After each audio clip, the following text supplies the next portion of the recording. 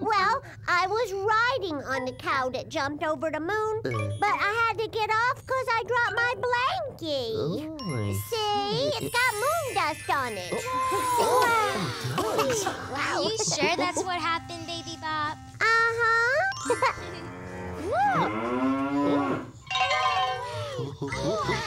See? Oh, my.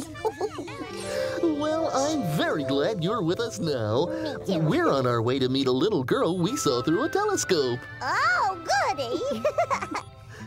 Are we there yet? Not yet, Baby Bop. We've gone from the Earth to the Moon, and we should be getting pretty close to the Sun by now.